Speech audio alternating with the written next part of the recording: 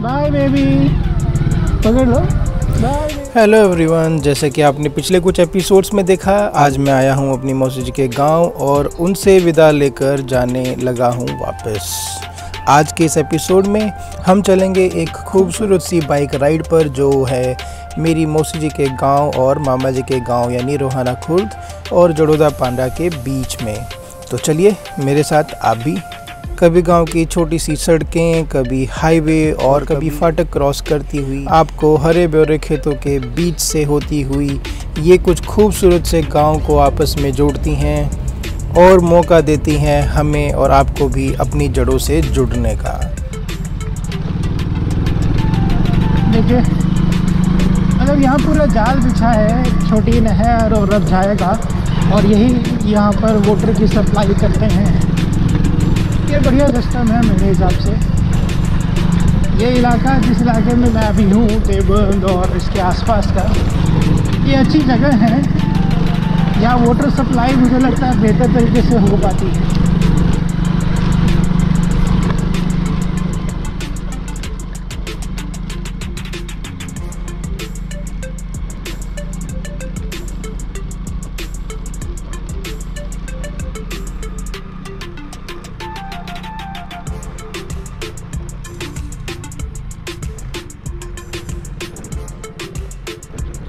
गाँव की ये सड़कें छोटी सही, लेकिन ट्रैफ़िक की प्रॉब्लम से कोसों दूर होती हैं। आई विश कि हमें अपने शहरों में ऐसी छोटी, लेकिन खाली सड़कें मिल पाती।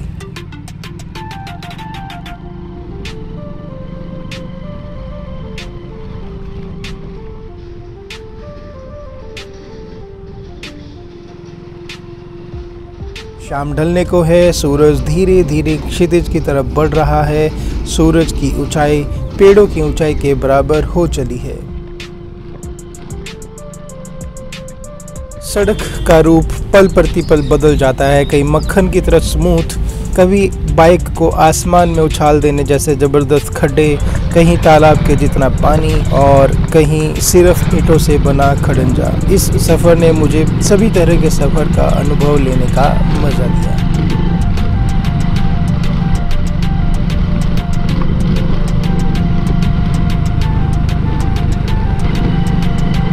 बार ज़रा मैप चेक कर रहा हूँ, रुक। के कहीं गलत तो नहीं आ गया हूँ। सात किलोमीटर कहा था और काफ़ी आ चुका हूँ।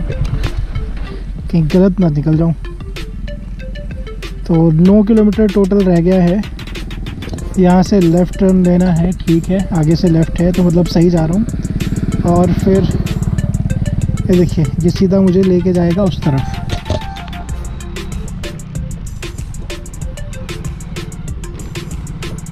पेड़ों के पीछे से आती, ढलते सूरज की झिलमिल करती ये किरणें बहुत ही मासूम मालूम होती हैं, एकदम सीधी और करीब।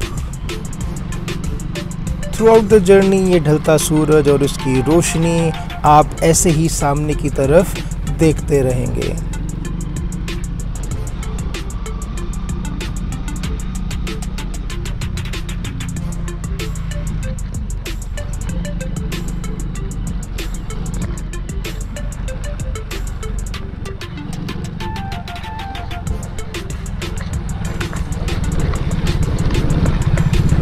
और गाँव है जिसमें मैं अभी एंटर कर रहा हूँ। नाम अभी तक गाँव का नहीं लिखा हुआ, दिखा नहीं, इसलिए पता नहीं कौन सा गाँव है।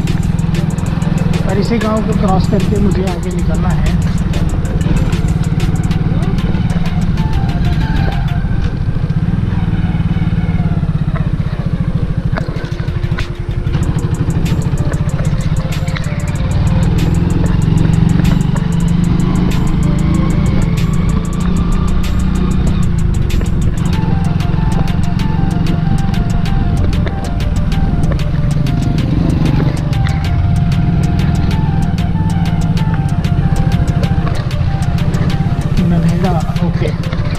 तो गाँव है जहाँ से मैं अभी निकल रहा हूँ।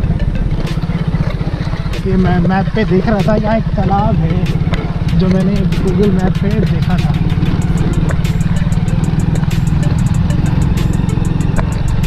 काफ़ी बड़ा तालाब था।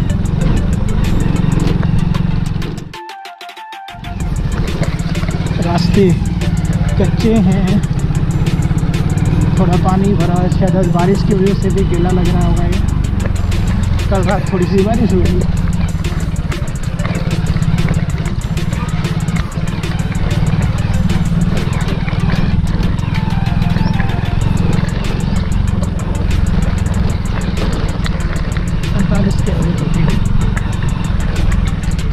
तो हो। जाएगा, चालीस साठ, डेढ़ लीटर। था एक आधे लीटर में फिर वो चाहिए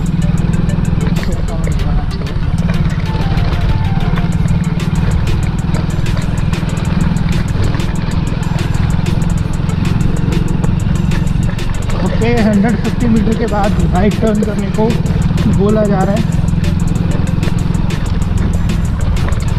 ननेड़ा गाँव ऑलमोस्ट मैं क्रॉस कर चुका हूँ और इस रोड से मुझे राइट टर्न करना है तो ये लीजिए, मैं राइट टर्न हो चुका है। 600 मीटर स्ट्रेट जाना है मुझे। रोड अच्छी है। लीजिए, ये चला मैं। शानदार सी सड़क पे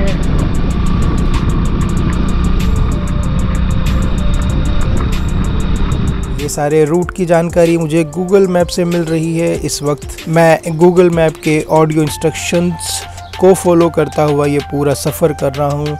गूगल मैप विलेज रूट्स के लिए बहुत इफ़ेक्टिव है।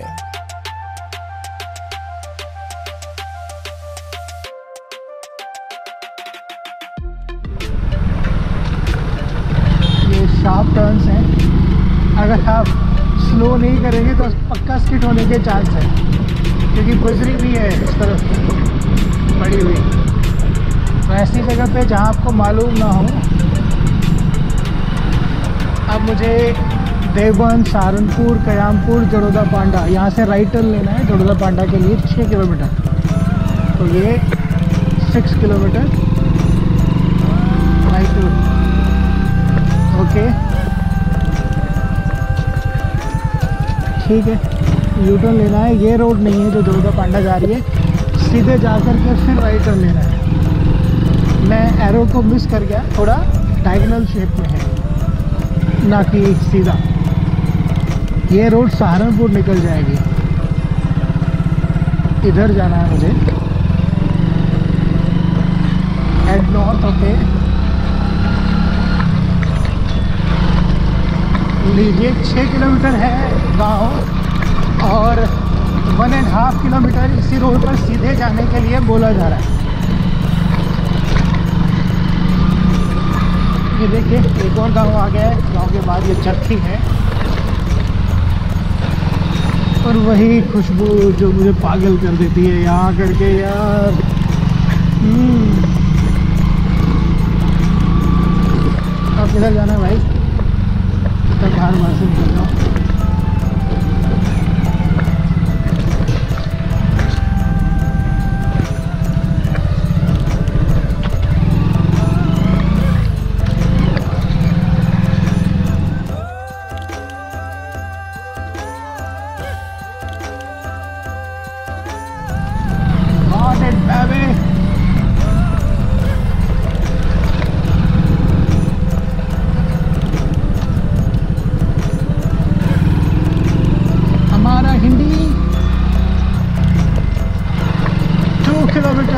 उम्मीद है ये एपिसोड आपको पसंद आया होगा। चैनल को सब्सक्राइब और वीडियो को लाइक ज़रूर करें।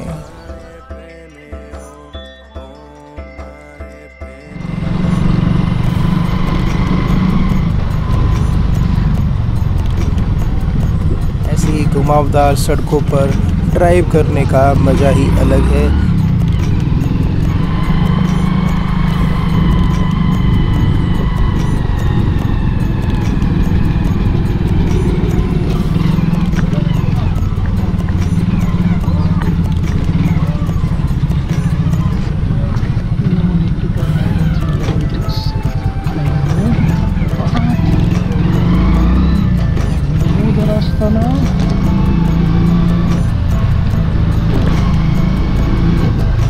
दोस्तों मैं पहुँच गया ज़रूर पांडा अपने मामा जी के घर।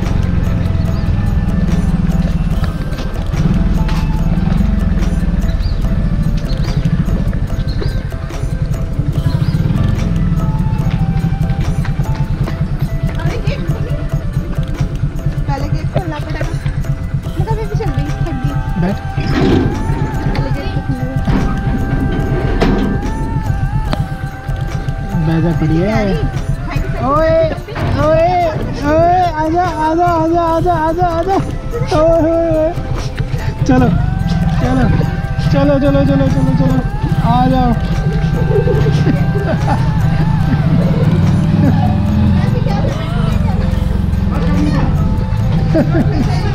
ये पहुँच गए।